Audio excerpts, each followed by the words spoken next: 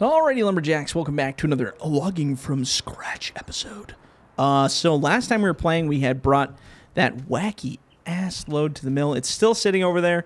We'll get to that when we get to it. But this episode, I'm going to do some more processing. I see we're kind of working in the wrong direction here. So what I'm going to do is I'm going to hop in this bad boy. And we're going to straighten her out. So what I want to do is actually... I should probably squeeze between here. Just kind of gently slip between the cracks here.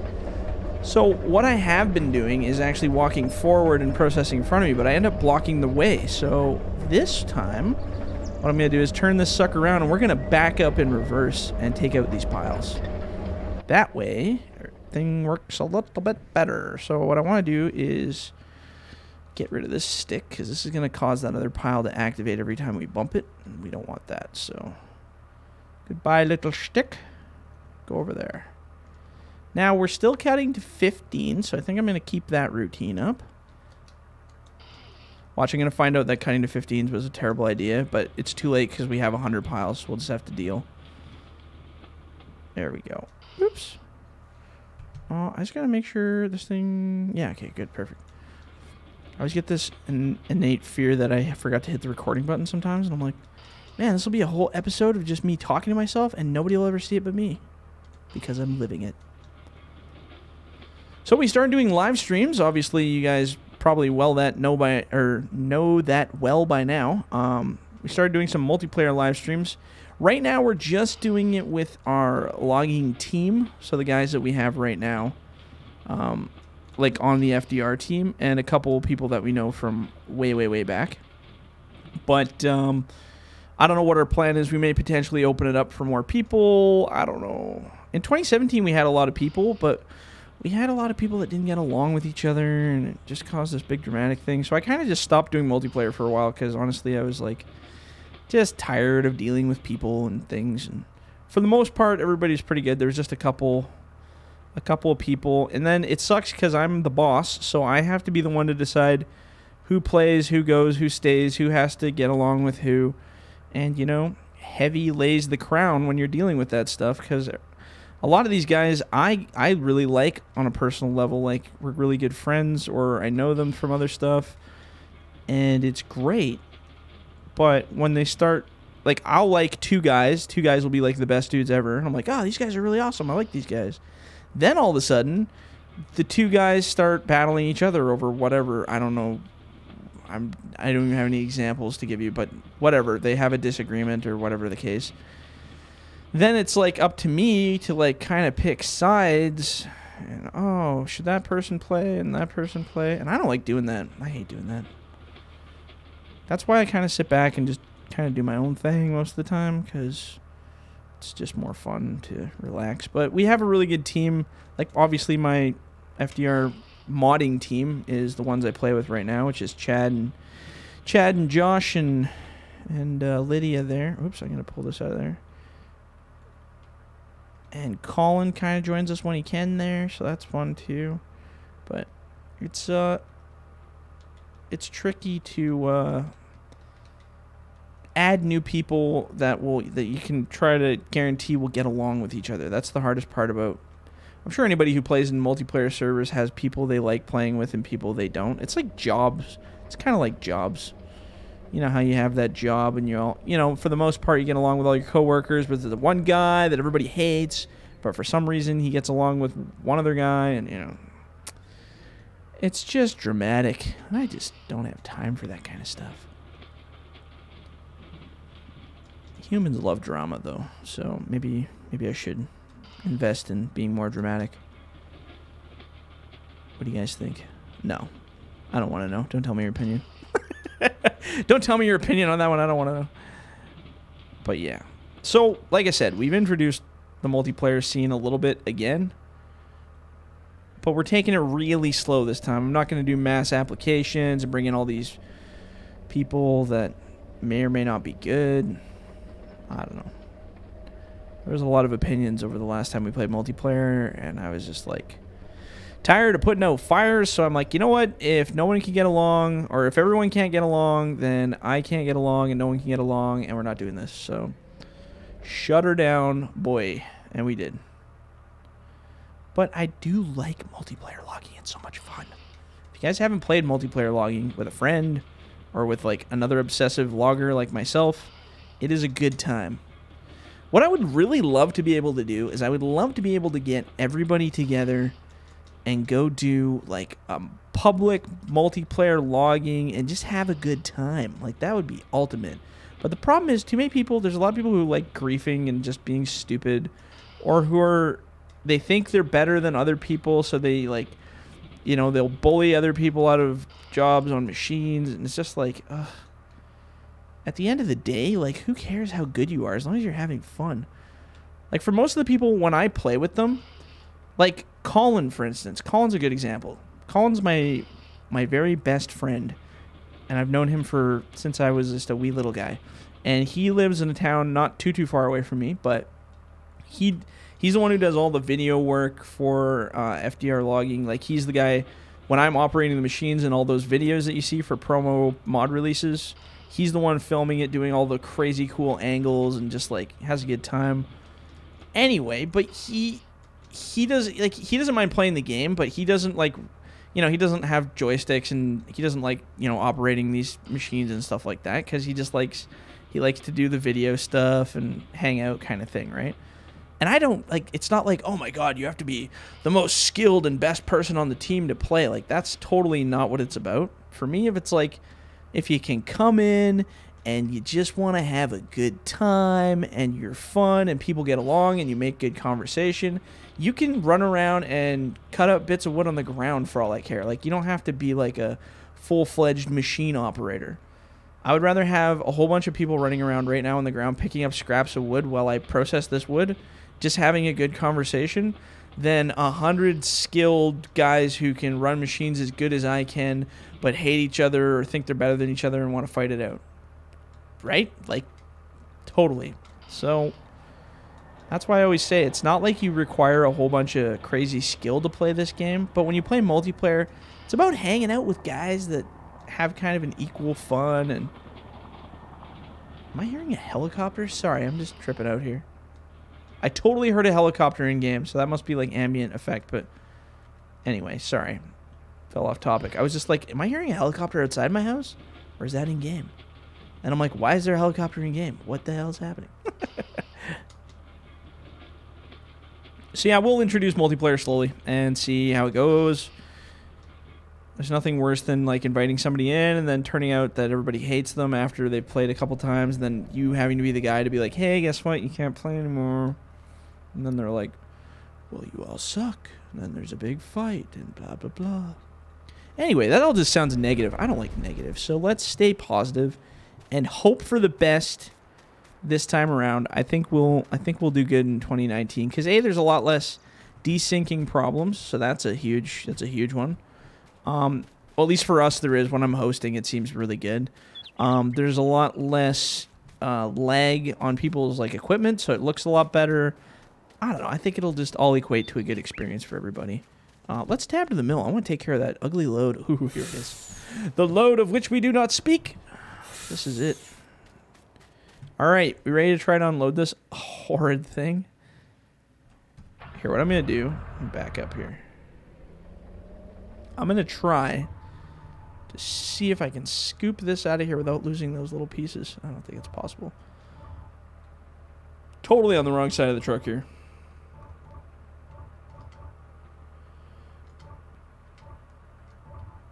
Oh god, this is tricky. This is why nobody does this. Because of this right here. Oh, mad skills. Uh, well, they were mad skills anyway. I got one little piece to stay on. That was kind of cool. But then the other one fell off the other side. I see it over there. Oh, little bugger. Oops. Reason number 75 why you never unload a truck this way. More like reason 175 why you don't unload a truck this way. There we go. All the little bits and pieces. Yeah, so in addition to um, putting out an upgraded version of this map, if it's not out already, I mean, it's possible I've already done this uh, by the time you see this video.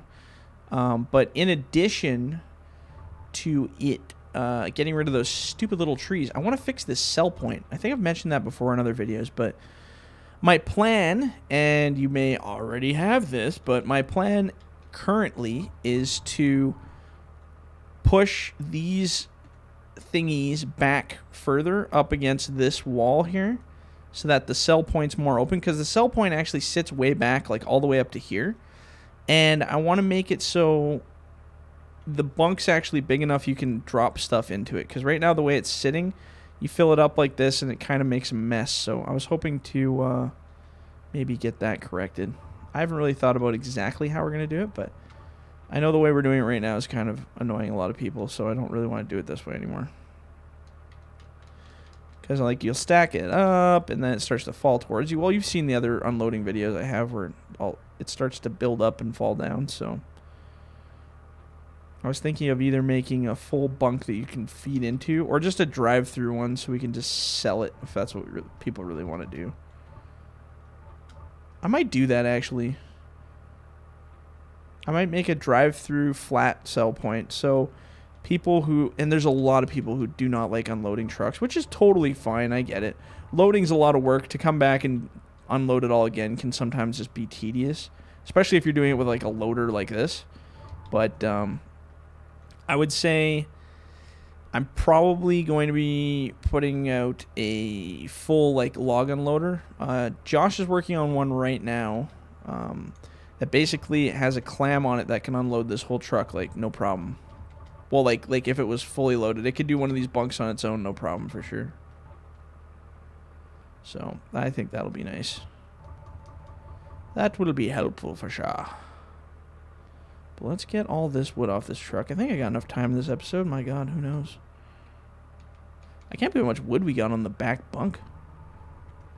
Probably because we loaded from the back like a master. I guess uh, one thing I also really want to do is I, am going to take a really another hard look at uh, doing like a dangle head, like a knuckle boom style. Um, mostly just because I'm going to sell this because this is just going to come plopping down on my head here, isn't it? Oh, maybe not. Are you going to stay there, logs? Oh, oh, there's always one, hey? Anyway, sorry, what I was trying to say is I'm going to take another look at dangle heads because I'd really like to try some loading from the back kind of stuff. So what do you think that's going to be worth? I bet you it'll be like 50, 60 grand. 56,477. So that was pretty close. But anyway, yeah, so uh, knuckle booms are something I really want to get into. And looking at the way the physics are in 2019, I think, well, I'm thinking it should be possible. I don't know for sure, though.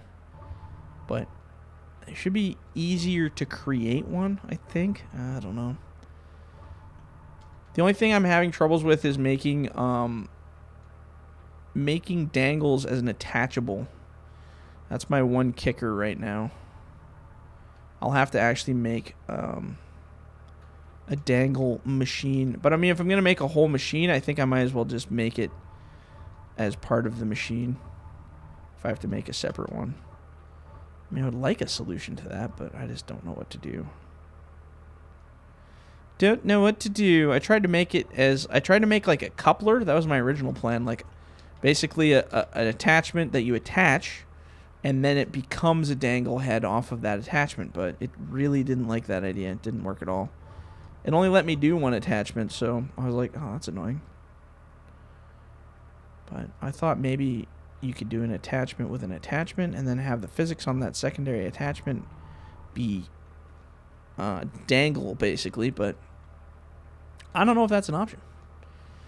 Don't think so. I gotta take another swing at it and see where I end up but it definitely wasn't working the first time I tried it we got that one little teeny piece stuck in there too I'm gonna try to grab that See if we can fish it out of there. How about it?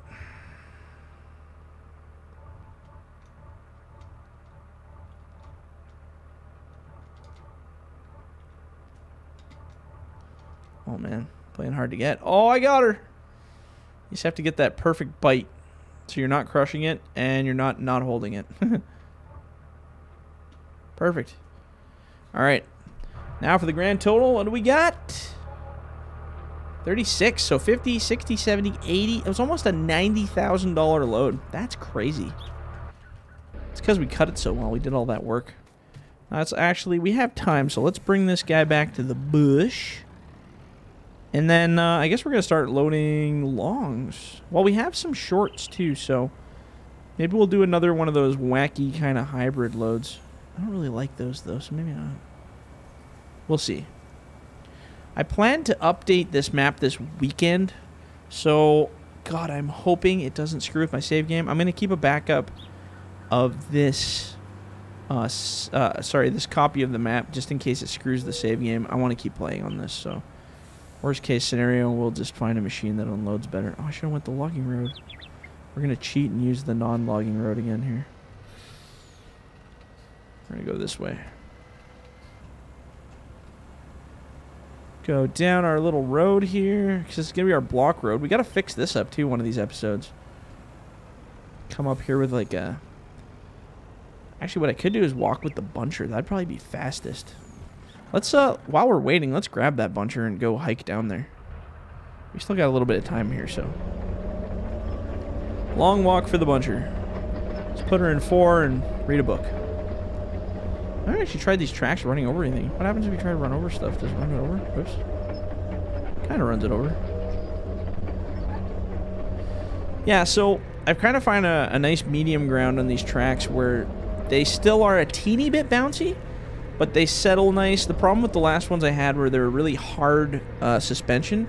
So what would happen was you would uh, you'd stop on a spot that was uneven, and it would basically just bounce back and forth, bounce and bounce and bounce and bounce. What's going on here? There we go. It's making some weird noises there.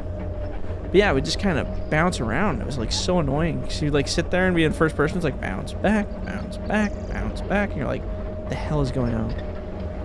So now, uh, it can climb hills pretty decently. If you try to climb something like that mountain, it still won't let you up there. Anything at about an 80% grade, I think, is when it starts to slip, which is totally realistic. I mean, it's actually less realistic because I've seen these things at like 40% grade slip, especially these high cab things. So, okay, so we're almost over to where I want to be. And then basically what I want to do is just walk through and chip up. Let's see how we do here running these over. Oh, yeah, we're good. Uh, I want to clean up, sorry, not chip up, the uh, road here. Let's turn our buncher head on, see if we can clean this stuff up. Oops. There we go. Okay, then we'll clean our road up. If we can find all the stumps. I need to open the claws on this. I can just crush it. Oop.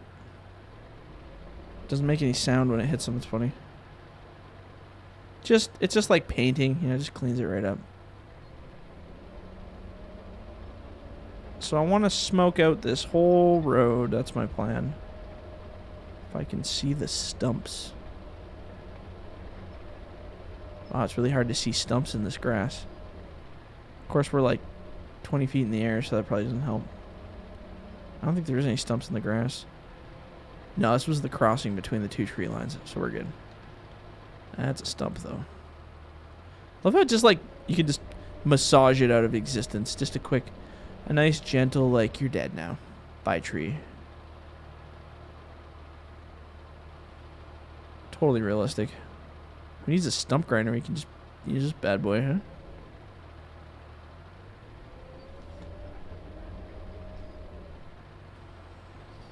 This is not how you should be clearing stumps. This is kind of, this is kind of cheating, actually. Well, I guess it's uh, not really. Well, yeah, kind of. I don't know. It's a questionable way of removing stumps. Still time consuming though.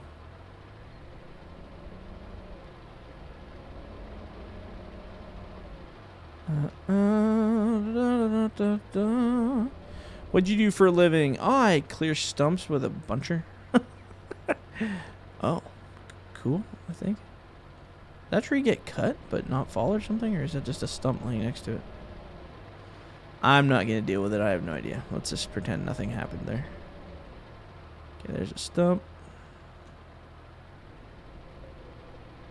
Oh, there's a stump.